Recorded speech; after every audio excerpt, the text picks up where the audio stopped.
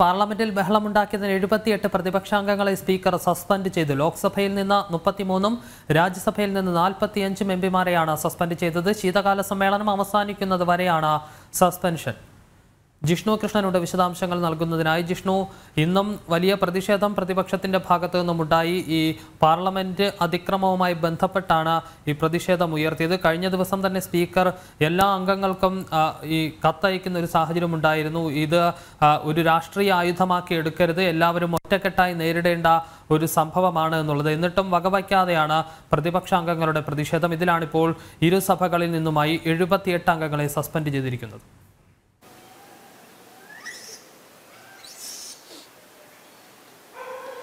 വിഷ്ണു പാർലമെന്റിനകത്ത് അതിരുവിട്ടുകൊണ്ട് ബഹളം വയ്ക്കുകയും സഭാ നടപടികൾ തുടർച്ചയായി തടസ്സപ്പെടുത്തിക്കൊണ്ട് പ്രതിഷേധം ഉയർത്തുകയും ചെയ്ത പ്രതിപക്ഷ അംഗങ്ങൾക്കെതിരെയാണ് ഇപ്പോൾ പാർലമെന്റിൽ ലോക്സഭയിൽ സ്പീക്കറുമൊപ്പം രാജ്യസഭ അധ്യക്ഷനും ഇത്തരത്തിൽ സസ്പെൻഷൻ നടപടി സ്വീകരിച്ചിട്ടുള്ളത്. ആകെ പ്രതിപക്ഷ അംഗങ്ങളിൽ എഴുപത്തിയെട്ട് എം പിമാരെയാണ് ലോക്സഭയിൽ നിന്നും രാജ്യസഭയിൽ നിന്നും സമ്മേളന കാലാവധി കഴിയുന്നതുവരെ സസ്പെൻഡ് ചെയ്തിട്ടുള്ളത്. അതിൽ ലോക്സഭയിൽ മുപ്പത്തിമൂന്ന് അംഗങ്ങൾക്കെതിരെയും രാജ്യസഭയിൽ നാൽപ്പത്തിയഞ്ച് അംഗങ്ങൾക്കെതിരെയും നടപടി എടുത്തിട്ടുണ്ട്. അത് തുടർച്ചയായി ബഹളം വെച്ചുകൊണ്ട് പ്രതിഷേധിച്ചുകൊണ്ട് സഭാ നടപടികൾ തടസ്സപ്പെടുത്തുകയും മര്യാദ വിട്ടുകൊണ്ട് പ്രവർത്തിക്കുകയും ചെയ്തതിന്റെ പേരിലാണ് ഇത്തരത്തിലൊരു കൂട്ട നടപടി പാർലമെന്റിൽ ഉണ്ടായിട്ടുള്ളത്.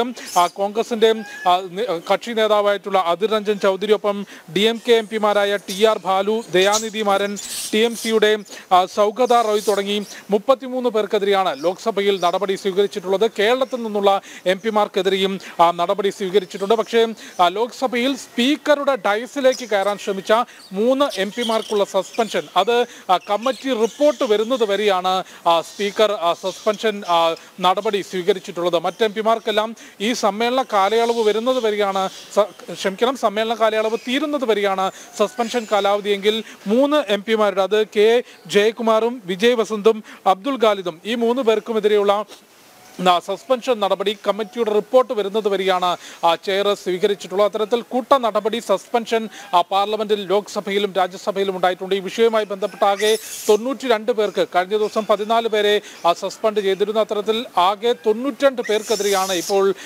സസ്പെൻഷൻ നടപടി. അതിൽ കേരളത്തിൽ നിന്നുള്ള നിരവധി എം പിമാർക്കും സസ്പെൻഷൻ നേരിടേണ്ട സാഹചര്യം ഉണ്ടായിട്ടുണ്ട്. അത് സഭാ നടപടികൾ തുടർച്ചയായി തടസ്സപ്പെടുത്തിയ പശ്ചാത്തലത്തിലാണ് ഇത്തരത്തിലൊരു നടപടി ഉണ്ടായിട്ടുള്ളത്. വിഷ്ണു ആദ്യം ചൂണ്ടിക്കാട്ടിയതുപോലെ നിലവിൽ പാർലമെന്റിൽ ഉണ്ടായിട്ടുള്ള ഈ ഒരു പുക പ്രതിഷേധം അല്ലെങ്കിൽ ഒരു അതിക്രമം അതിനെ മുഴുവൻ പാർലമെന്റ് അംഗങ്ങളും ഒരുമിച്ച് നിന്ന് നേരിടണം. അതൊരു രാഷ്ട്രീയ വിഷയമായി എടുക്കരുത് എന്നുള്ളത് വളരെ വ്യക്തമായി ആ സ്പീക്കർ എല്ലാ അംഗങ്ങൾക്കും ആ കത്ത് നൽകുകയും അത്തരത്തിലൊരു സന്ദേശം നൽകുകയും ചെയ്തിരുന്നു. അപ്പം കഴിഞ്ഞ ദിവസം പ്രധാനമന്ത്രി നരേന്ദ്രമോദിയും ഒരു ദേശീയ മാധ്യമത്തിന് നൽകിയിട്ടുള്ള അഭിമുഖത്തിൽ ചൂണ്ടിക്കാട്ടിയത് ഇത് വളരെ കൃത്യമായ വളരെ ഗുരുതരമായ സുരക്ഷാ വീഴ്ച തന്നെയാണ് ഉണ്ടായത്. അതിൽ യാതൊരു സംശയവുമില്ല. പക്ഷേ രാജ്യ സുരക്ഷയെ ബാധിക്കുന്ന വിഷയമായതിനാൽ പ്രതിപക്ഷ പാർട്ടികൾ ഇതിനെ ഒരു രാഷ്ട്രീയ വിഷയമായി എടുക്കരുത്. രാഷ്ട്രീയ ലാഭത്തിന് വേണ്ടി ഇതിൽ പ്രതികരണങ്ങൾ നടത്തരുത് എന്നൊരു പ്രസ്താവന പ്രധാനമന്ത്രിയുടെ ഭാഗത്തു നിന്നും ഉണ്ടായിരുന്നു. എന്നാൽ അത്തരത്തിൽ ഒരു കാര്യങ്ങൾക്കും ചെവി കൊടുക്കാതെ പാർലമെന്റിൽ ഇതിനൊരു വീണ് കിട്ടിയ അവസരമായി കണ്ടുകൊണ്ട് പാർലമെന്റ് നടപടികൾ തുടർച്ചയായി തടസ്സപ്പെടുത്തിക്കൊണ്ടുള്ള പ്രതിഷേധമാണ്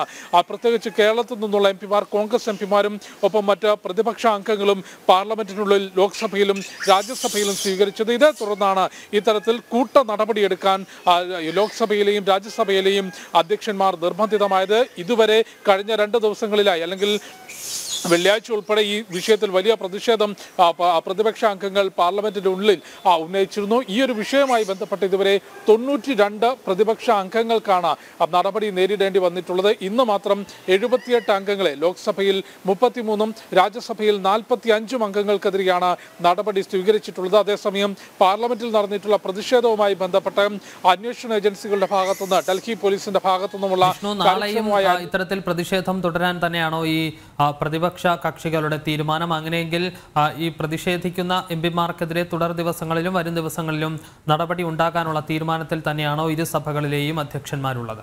വിഷ്ണു സഭയിൽ സഭാ നടപടികളോട് സഹകരിക്കണം എന്ന് സ്പീക്കറും ഒപ്പം രാജ്യസഭയിൽ അധ്യക്ഷനും ഇന്നും ആവശ്യപ്പെട്ടിട്ടുണ്ട്. ക്രിയാത്മകമായ ചർച്ചകളാണ് പാർലമെന്റിൽ ആവശ്യമുള്ളത്. നിലവിലുണ്ടായിട്ടുള്ള ഈ ഒരു വിഷയം അത് മുഴുവൻ പാർലമെന്റ് അംഗങ്ങളും ഒരേ മനസ്സോടെ നിന്നുകൊണ്ട് അല്ലെങ്കിൽ മുഴുവൻ ജനങ്ങളും ഒരേ മനസ്സോടെ നിന്ന് നേരിടേണ്ട വിഷയമാണ് അതിൽ ഇത്തരത്തിലുള്ള ബഹളത്തിന്റെ ആവശ്യമില്ല. കാരണം പ്രതിപക്ഷ അംഗങ്ങൾ ഈ ഒരു വിഷയത്തിൽ ബഹളം ഉന്നയിക്കുന്നത് പ്രധാനമന്ത്രി അല്ലെങ്കിൽ ആഭ്യന്തരമന്ത്രി അമിത്ഷാ മറുപടി പറയണം എന്നുള്ളതാണ്. അതിന് വ്യക്തമായ മറുപടിയും കേന്ദ്ര സർക്കാരിന്റെ ഭാഗത്തു നിന്ന് തന്നെ നൽകിയിരുന്നു. കാരണം ലോക്സഭയിലെ കസ്റ്റോഡിയൻ എന്നുള്ളത് അല്ലെങ്കിൽ ലോക്സഭയിലെ പ്രവർത്തനങ്ങൾ നിയന്ത്രിക്കുക അതിന്റെ സുരക്ഷ ഉൾപ്പെടെ അതിന്റെ പൂർണമായ ചുമതലയുള്ളത് ലോക്സഭാ സ്പീക്കർക്കാണ്. സ്പീക്കറുടെ ഭാഗത്ത് ഈ വിഷയത്തിൽ വളരെ കൃത്യമായ ഗൗരവമുള്ള നടപടികൾ സ്വീകരിച്ചിട്ടുണ്ട്. അതിന്റെ തുടർ നടപടികൾ ഉണ്ടാകുന്നുണ്ട്. അതുകൊണ്ട് വിഷ്ണുകൃഷ്ണനാണ് ഡൽഹിയിൽ നിന്ന് വിശദാംശങ്ങൾ നൽകിക്കൊണ്ടിരുന്നത്. പാർലമെന്റിന്റെ ഇരു സഭകളിലും അതിക്രമവുമായി ബന്ധപ്പെട്ട് ഇന്നും പ്രതിപക്ഷം പ്രതിഷേധിച്ചു. എഴുപത്തിയെട്ട് എം പിമാരെയാണ് ഇന്ന് ഇരുസഭകളിൽ നിന്നും സസ്പെൻഡ് ചെയ്തത്.